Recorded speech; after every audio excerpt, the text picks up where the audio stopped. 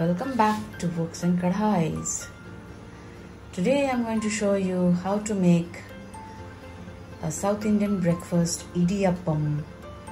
As you can see I've got this uh, you know big basket rice flour organic rice flour which I have transferred into a container so I'm going to make idiyappam with this rice flour today. It's a very tasty and easy breakfast and you need the best part it you need you need very few ingredients. So let's get started